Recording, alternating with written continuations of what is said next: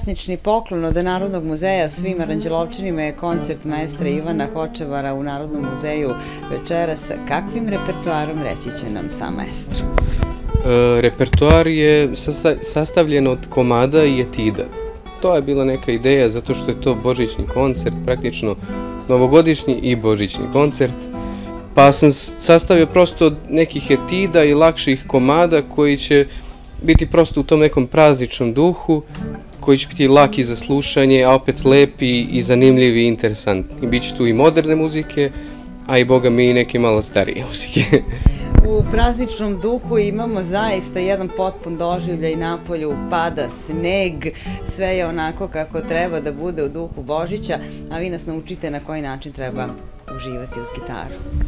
Pa prosto eto, ako budete prisustvali čućete eto, najzad gitaru kako zvuči u tom nekom intimnom e, prostoru sa lepim osvetljenjem. Stvarno muzej je prelep i nadam se da ću ga koristiti još dugo i dugo. Pored muzike, unutra i veštine u prstima, šta je potrebno za kvalitetno izvođenje?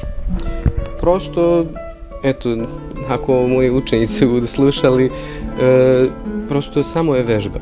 Naravno, morate da imate dar, ali kad primetite da imate dar, to nije sve, nego prosto vežbanje, istraživanje, slušanje muzike, slušanje koncerata, prosto to ja mislim da je suština dobrog izvođenja.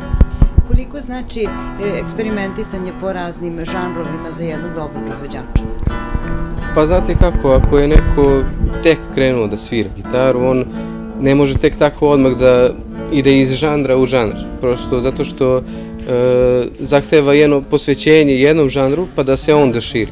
Ja sam dugo bio prvo u rock muzici, pre klasične gitare, a pre gitare sam svirao violinu i onda tu ima dosta slojeva i onda nakon e, električne gitare je došla klasična gitara i sad prosto je neizmenično i klasična i električna, a usput sviram i bubanj i snimio sam čak i album sa bubnjem i onda prosto ako sazrite u jednom e, jednom žanru, onda možete da se širite.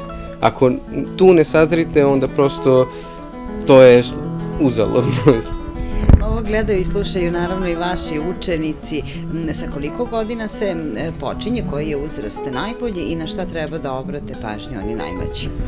Pa u suštini najbolje je nekom trećem razredu osnovne škole da krenu sa muzikom, a pre toga ako mogu roditelji da rade sa njima, što se tiče da nekako da idu na koncerte, da, da se bave, da deca slušaju muziku ako imaju talenta, ne po svaku cenu privatni časovi. Bolje možda decu prvo upoznati sa muzikom, pa onda da oni krenu sa nekim instrumentom. Kako se prepoznaje dete koje ima talent, u kom periodu se to dogodi? Kada se to desilo vama? Iskreno da kažem, ne znam. Ali ja sam sam krenuo gitaru da sviram, naravno moj deda mi je pokazao neke osnove, zato što je on isto muzičar, ali ja mislim da je to bilo u ranim godinama, ja mislim negde prvi razred osnovne škole moguće.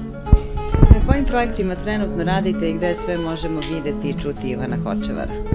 Pa sada trenutno, pošto je korona i imamo problem da organizujemo koncerte, ja se trudim, verovatno nešto uskoro možda u Kragujevcu, Beograd, vidjet ćemo još nešto, možda opet i Aranđelovac, ali svakako radim i na snimcima i spotovima sada dok je korona, dok imamo vremena da, da nešto stvaramo novo, tako da verovatno uskoro nešto novo. Eto.